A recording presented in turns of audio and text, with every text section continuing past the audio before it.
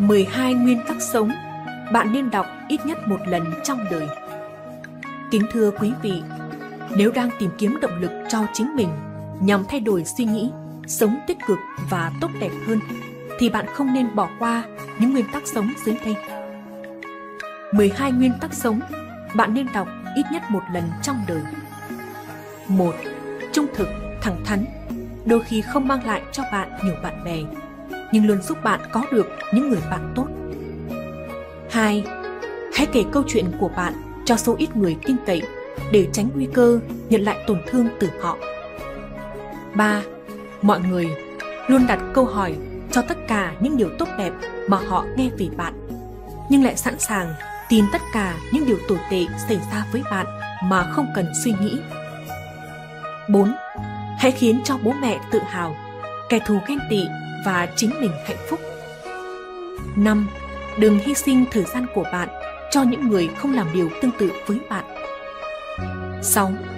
Cuộc sống có rất nhiều điều khắc nghiệt. Trải qua tất cả, bạn sẽ có cả một kho tàng về những bài học. 7. Chỉ cần nhớ rằng cho tới cuối cùng, sự nỗ lực, nhẫn nại sẽ luôn được đền đáp. 8. Hãy luôn nhìn mọi thứ một cách tốt đẹp nhất, dù trong bất cứ tình huống nào. 9. Một người mạnh mẽ và hạnh phúc nhất đó là khi họ thực hiện được ước mơ của chính mình. 10. Nếu không biết bắt đầu từ đâu, hãy bắt đầu từ điều mà bạn nghĩ rằng bạn sẽ bắt đầu. 11. Đừng sợ thất bại, hãy xử việc dậm chân tại chỗ. 12. Khi bạn hoàn toàn tin tưởng ai đó mà không có bất kỳ sự hoài nghi nào, đến cuối cùng bạn sẽ nhận được một trong hai kết quả. Một người trong cuộc đời hoặc một bài học trong cuộc sống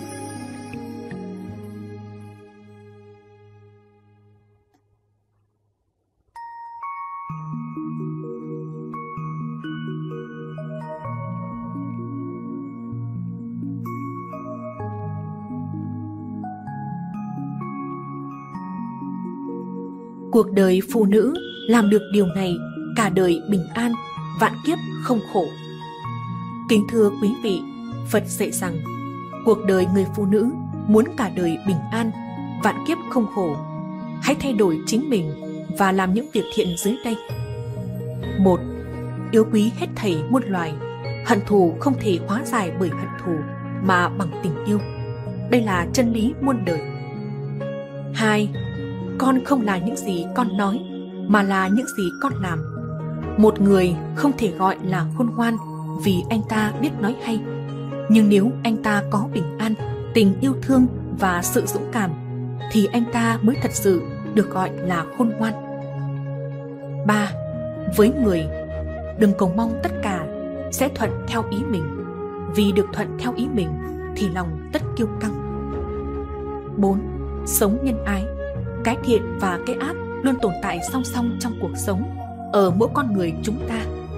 Ranh giới giữa cái tốt và cái xấu cũng mong manh khôn lường. Kèm theo đó là luật nhân quả, nghiệp báo. Nhân duyên là do ý trời. Mọi việc diễn ra theo cơ duyên, nhưng tất cả được quyết định từ ý chí và tâm hồn của mỗi người. Hôm nay, bạn gieo nhân thiện, ngày mai bắt được quả lành. Đời này có vay, có trả, có được, có mất, có hạnh phúc, có đau thương nhưng để làm chi khi nhắm mắt xuôi tay, liền xa cõi đời rồi, thì tất cả cũng chỉ là cát bụi hư vô năm, ở đời, đừng cầu không hoạn nạn, vì không hoạn nạn thì kêu xa nổi dậy 6. Bí quyết để có sức khỏe tốt chính là an trú trong hiện tại. Bí quyết để có sức khỏe cho cả tinh thần lẫn thể xác không phải là hờn trách quá khứ hay lo sợ về tương lai, mà là sống trong giây phút hiện tại một cách khôn ngoan và nghiêm túc. 7. Hòa nhã với tất cả. Hãy kiên trì nhường nhịn người trẻ, Từ ái với người già. Khuyến khích những ai đang cố gắng, Khoan dung độ lượng với những kẻ làm sai và nhu nhược. Có khi trong đời, Con sẽ lâm vào những hoàn cảnh ấy. 8 thay đổi bản thân, thay đổi thế giới.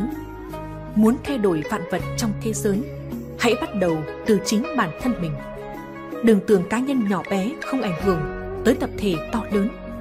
Nhất cử nhất động của mỗi người đều có sự tác động tốt xấu, tiêu cực, tích cực tới những người xung quanh.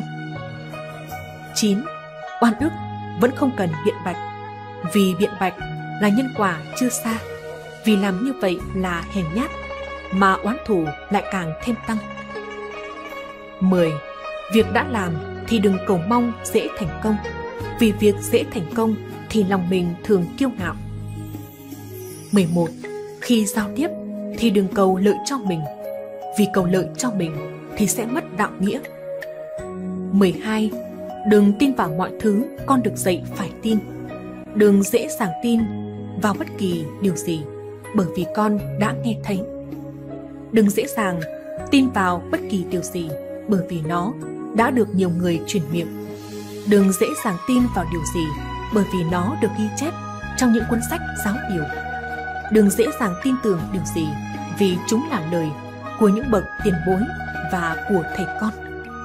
Đừng dễ dàng tin vào truyền thống, bởi vì nó đã được trao truyền trong rất nhiều thế hệ và sau những gì quan sát và phân tích khi con thấy chúng phù hợp với lý lẽ, đưa tới những điều tốt lành, đem lợi ích cho chúng sinh, thì hãy chấp nhận và sống vì nó.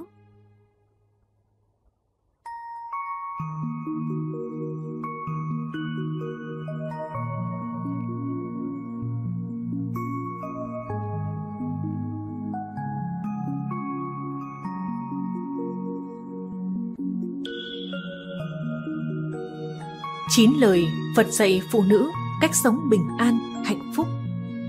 Kính thưa quý vị, bạn là phụ nữ, bạn muốn có cuộc sống bình an, hạnh phúc thì hãy đọc và suy ngẫm ngay những lời dạy của Đức Phật dưới đây. Một, khi chúng con rơi vào cảnh ngộ trái ngang, nên nhân nhượng cầu toàn hay là hăng hái chống trả? Phật dạy buông xuống. Hai, những thứ mất đi có nhất thiết truy đòi không? Phật dạy, những thứ mất đi kỳ thực chưa bao giờ thật sự thuộc về con, không cần thương tiếc, càng không cần truy đòi. 3. Lý giải vĩnh viễn như thế nào? Phật dạy, người người đều cảm thấy vĩnh viễn rất xa. Thật ra nó có thể ngắn ngủi tới nỗi còn không hề nhìn thấy. 4. Cuộc sống quá mệt mỏi, làm sao nhẹ nhõm? Phật dạy, Cuộc sống mệt mỏi, một nửa là do sinh tồn, một nửa là do dục vọng và tị nạnh. 5. Chúng con nên làm thế nào nắm giữ hôm qua và hôm nay? Phật dạy, chớ để quá nhiều hôm qua chiếm cứ hôm nay của con. 6. Đối với bản thân, đối với người khác như thế nào?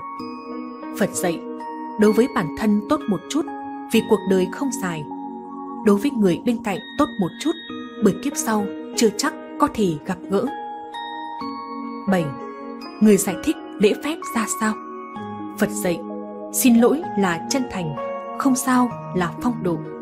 Nếu con trao ra chân thành nhưng không có được phong độ, thế thì chỉ có thể chứng tỏ sự vô tri và thô tục của đối phương. 8. Chúng con làm thế nào xác định mục tiêu của mình? Phật dạy, nếu con biết đi đâu, cả thế giới sẽ nhường đường cho con. 9. Làm sao cân bằng vui vẻ và bi thương?